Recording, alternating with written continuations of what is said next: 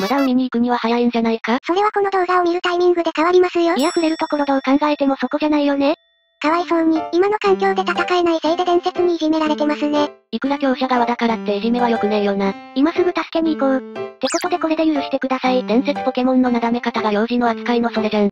しょうがねえ、今日のところは勘弁してやるか。いやうまくいくんかい。助けていただきありがとうございます。お礼と言ってはなんですが、ぜひとも優遇上にご招待。あ、この流れ、完全に浦島太郎じゃん。と、行きたいところなんですが、現在海は海洋画のせいで荒れまくり、帰るに帰れなくなってるんですよね。踏んだり蹴ったりじゃねえか。実際さっきまで文字通り踏んだり蹴ったりだったんですけどね。それ、やられてた奴が言うセリフか？ってことで今回は、かじりガメと一緒に戦っていくぞ。で、そんなかじりガメの持ち物は、タスキなんだな。ほら、ウサギとカメってお話あるじゃん。確か、ウサギとカメが山のふもとまでかけっこするやつですね。そう、かけっこ、つまり競争してる。だからタスキをかければそれっぽいかなと思って。だったら最初の茶番、浦島太郎じゃなくてウサギと亀にすればよかったじゃないですか。ウサギはほら、今の対戦じゃ見ないし。それを言ったら海辺で亀をいじめる伝説ポケモンも十分おかしいですけどね。で、さっきまでいじめられてた亀がタスキを持ったところでどうこうなるもんなのか？なる、というか、タスキの有無だけで力の差がこのくらいあるから、それじゃいまいちわかんねえわ。メガカメックスみたいになっちゃいましたね。あ、メガ進化といえば、XY のリメイク？とはちょっと違うけど、レジェンズ ZA ってのが発表されてましたね。その発表、2月中の話だったけどな。触れるのがあまりにも遅すぎる。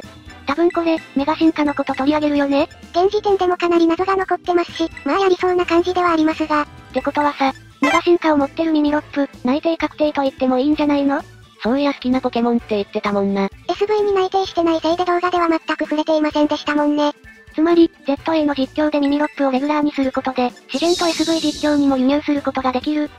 これで一部のメガ進化持ちが内定しなかったら面白いな。何も面白くないが？先発はタスキパオジアン用にステロ巻きたいからステロ要因でゴローニャ。後ろに雨降らし要因のペリッパーと、本日の主役のかじりガメで。対戦、よろしくお願いします。お相手の先発は羽ばたく神、コライドンと一緒にいるのでアタッカーっぽいような気もしますが。コライドンより先に来てるし、サポート型もありえそうだな。ま、殴られてもイバンで行動保証は取れてるだろうし、最初は殴ってみますか。お、挑発持ちか、ステロ押さなくてよかったな。なんなら6ブラの当たる回数次第では突破もあり得るという最高の状態なんだが。あと一発。頑丈を残して幅神突破は熱すぎる。お次に出てきたのは、コライドンです。それじゃペリッパーをクッションにしてかじり亀に倒してきてもらえますかね。タスキ温存のためでもあるんだろうが、わざわざペリッパーを挟むってことは、今回のかじり亀の特性はスイスイか。そう、自分の素早さが2倍になるやつね。今回はスイスイ込みで最速コライドンをギリギリ抜ける調整にしてて、これによって上からフェアリーテラバでワンパンってわけよ。あ、ギリギリに調整してんのね。うん、HP にも振りたかったから、珍しくぶっぱはやめたんだよ。さっきにとちゃ積まれたんですが、それについてはどう思いますか？これでコライドンは素早さ1段階アップ、上から動かれちゃいますね。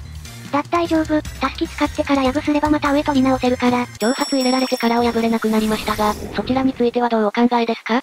うわー、これじゃ倒せない、なんて、実はサブプランとしてカウンター、仕込んであります。相手の裏に先生技持ちいそうだし、どうせ地域交換になるならテラスタクは取っておきたいからね。なるほど、テラスを切らなくても倒すこと自体はできるんですね。これがあるから他のポケモンに心置きなくテラス切れるからありがたいんだよな。最後に出てきたのはファオジアンですが、こっちには削れてるとはいえ3体残ってるし、ゴローニャはまだ頑丈残してるからね。ヒルミが絡んでこなきゃいけるでしょ。と、ここでお相手降参だな。ってことで対戦、ありがとうございました。今度こそはフェアリーテラバ、あわよくばからヤブでの無双を見せたいところ。今回のお相手のパーティにもコライドンが入ってますね。しかも先生技を持ってそうなのがオーガポンしかいなさそうだし、からヤブチャンスなんじゃないか？そうと決まればかじり亀は絶対選出。それとからやぶしなくても無双できるようにするために一応ペリッパーと、残りは、やっぱ火力も足の速さもあるミライドンがいいんじゃねえか？いや、下手にエレキフィールド展開するとクオークチャージで素早さの上がった包みに3立てされるからなしで。あまりにも包みに弱すぎませんか？うちのパーティ。てか最近包みがいるせいで全然ミライドン選出できないんだけど。せっかくの機会ですし、今度他の伝説使ってみるのも楽しそうですね。結局1試合目と同じ並びになっちゃった。頑丈で行動保証あって、2番でもう1回動けるの強いからね、しょうがないね。ってことで対戦、よろしくお願いします。お相手の先発は鉄の包み、未来ドンを出してたらいきなり試合が終わるところでした。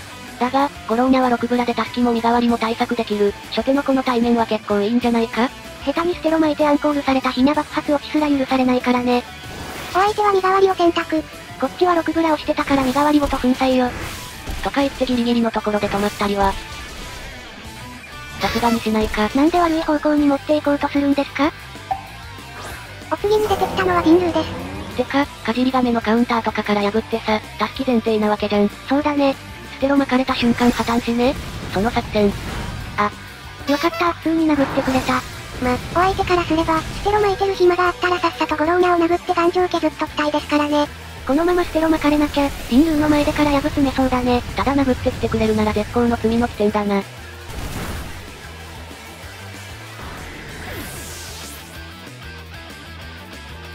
ステロは巻いてきませんでしたね。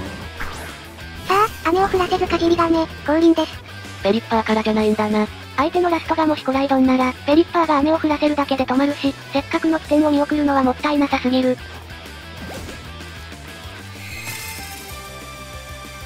これで攻撃、特攻、素早さが全部2段階アップ。これでコライドンがスカーフを持っていない限りは雨なしでも抜けますね。個人的にスカーフミライドンが火力と素早さを両立できててめちゃくちゃ強いと思ってるんだけど、それより殴りタイプが優秀なコライドンでスカーフが流行らないの、よくわからないんだよね。めちゃくちゃ唐突だな。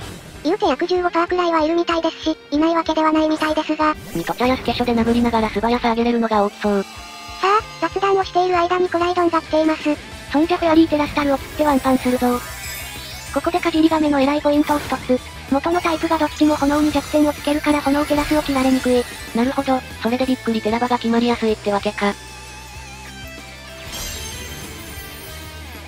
いけ、かじり亀。いじめは良くないぞバーン。名前ダサすぎて草。なんならパンチですらないんですがそれは。4倍弱点をついてワンパンできましたね。ってことで対戦、ありがとうございました。あとはウサギより足の速い馬をしばくだけ。やっぱり最初の茶番今からでもウサギと亀にしませんか？で、黒バド入りのパーティなわけだが、カウンター効かないし、スイスイ、からヤブだけだと抜けないわけだが。とはいえスイスイとからヤブの両方が揃えば上は取れるわけだし、未来ドン対策できそうなやつにも強く出れるから選出しても良さそう。あとは、スイスイ発動するための雨降らし要因のペリッパーと、相手の初手確認用にスカーフ未来ドンでいこうかな。対戦、よろしくお願いします。お相手の先発は A さん、素早さ順にフィールドが展開されるので、今回はサイコフィールドが場に残ります。初手に未来ドンを出すと地面タイプを連れてきてる人はよく後投げしてくるんだけど。今回はボルチェンが通ります。ってことは私もガチグマもいない交代読みで一発入れたいだけの可能性もあるんじゃね？実際サイコフィールド化のエースさんの火力はバカになりませんからね。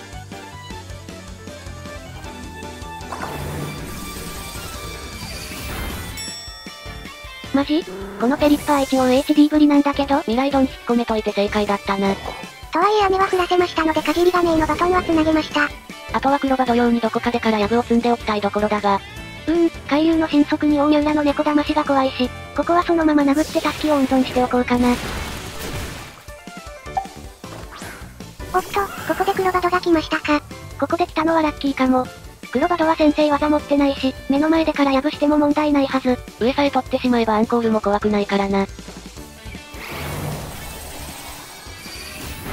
あ、タスキで確実に耐えてからを破って能力アップ。裏に先生技持ちがいなけりゃこのまま押し切れるし、持ってる奴が来たとしても1対1なら未来ドンでどうにかできるはず。ここでお相手交代。大三浦が出てくるぜ。今来るんだ。しかもタスキ持ちってわけじゃないし、持っていたのはサイコシート、サイコフィールド化に出ると特防が上がります。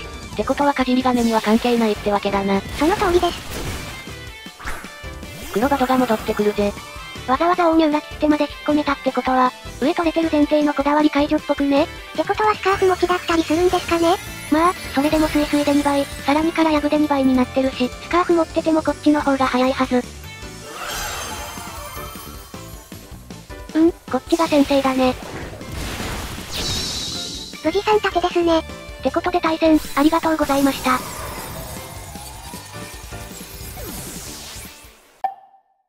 さて、コライドンと黒バドには復讐できたし、あとは海を荒らしてるっていう海王画を倒すだけだね。あ、そのことなんですが、なんだかんだ優遇上でおもてなししたら落ち着いたらしいので大丈夫そうです。いやそっちより先に助けた私たちの方をもてなせよ。海王が楽しそうで草。